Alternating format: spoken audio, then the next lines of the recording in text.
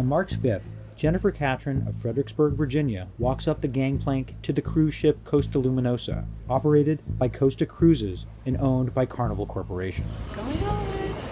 Oh my gosh. What?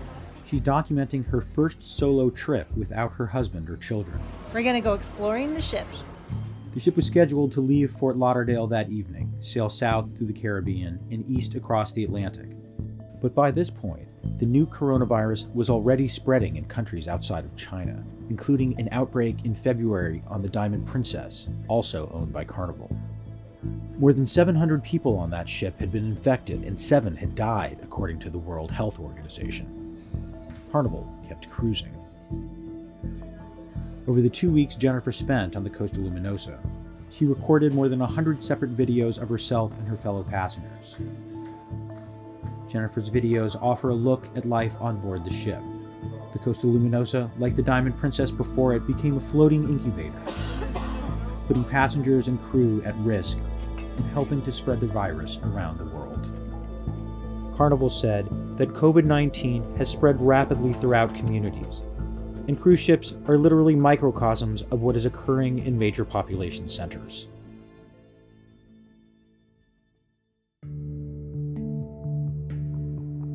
The story of the Costa Luminosa begins on February 29th. An Italian passenger is taken off the ship in the Cayman Islands and to a local hospital. He is suffering from double pneumonia and has had a heart attack, according to subsequent interviews with his son.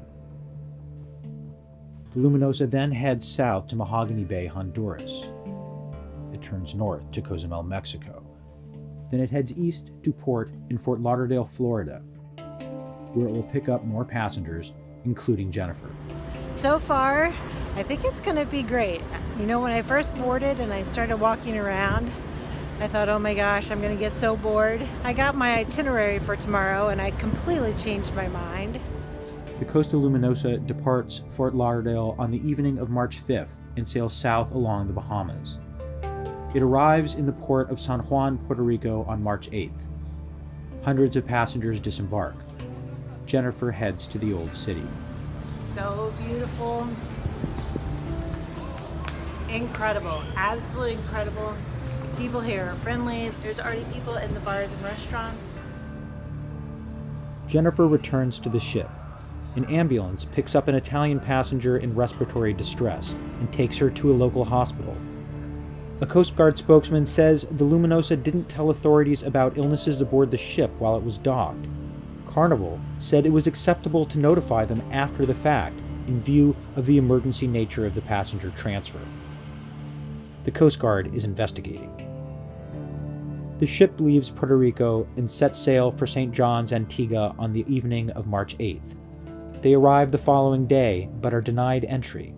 The government said the Luminosa did not inform them in a timely fashion that there had been a passenger on board with symptoms of an infectious disease. Carnival said that the Luminosa followed the required regulatory protocol. The Costa Luminosa then turns east and heads out into the open ocean. Staff members are cleaning a lot more, they're doing surfaces, people are still serving themselves in the buffet, and people are still congregating and activities are still going on on board. right now, there's um, not a whole lot left. As you can hear, there's still coughing in the background. The ship heads into the middle of the Atlantic Ocean. Group activities keep up much as they had before. People congregate in restaurants and in bars. Okay, so here's life on the ship after we just found out that there are no ports in Spain that are willing to take us. We don't know where we're going to refuel. People are still milling around. This is Friday the 13th, March 13th, 2020, guys. And we are on a boat um, with no place to go.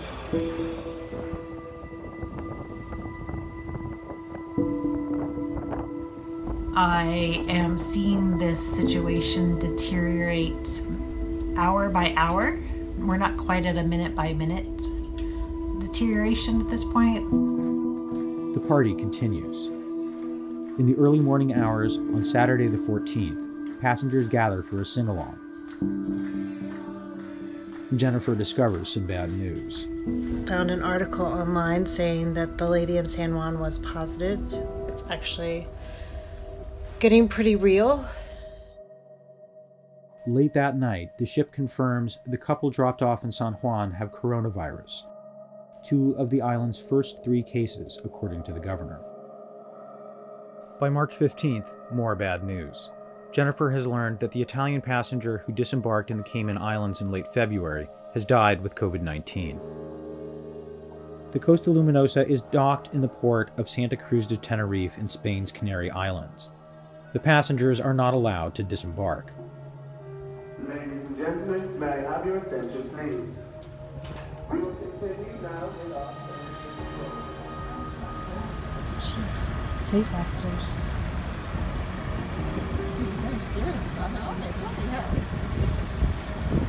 They just don't want anybody getting off. They don't want anybody jumping ship. He's Three sick passengers and their travel companions leave the ship to seek medical care. On the evening of the 15th, the ship announces that passengers are to return to their rooms. By the morning of March 16th, all restaurants are closed. May I have your attention, please? In regards to the passengers who disembarked in Tenerife, we have no further updates on their condition, and again we will update you as soon as is possible. Last night I woke up at 2 o'clock and I thought it was 2 p.m. I have no windows in here, there's nothing. It's a, literally the size of a closet. The bed takes up the entire room. I'm having a hard time allaying my doubts and my fears to try and trust the people that are in charge. It is March 19th, and the Costa Luminosa arrives at the port of Marseille. The French government has given the ship permission to dock. Please strictly follow our instructions that you have received regarding your disembarkation. Our teams are working around the clock in a situation which is evolving very rapidly. The French government has given the ship permission to dock, and more than 700 passengers prepare to disembark. Italian passengers remain on board until the ship reaches its final destination in Italy. Jennifer and others wait for hours in buses on the dock. Multiple passengers report there is little or nothing to eat. After nightfall, they are escorted by police cars to the airport to catch a plane chartered to take them to Atlanta. The plane takes off after midnight. Several passengers interviewed by the journal witness others collapsing, though it's not clear if it's from illness or exhaustion. Jennifer helps tend to the sick.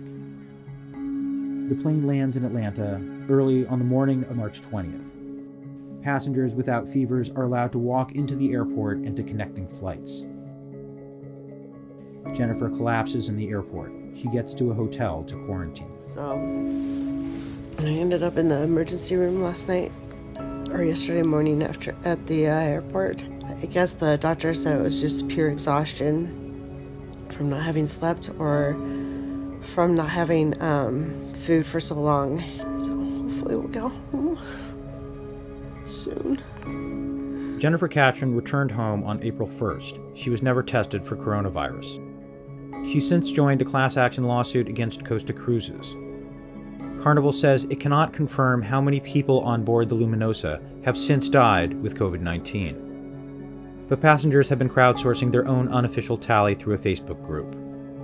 So far, they've counted 15 dead.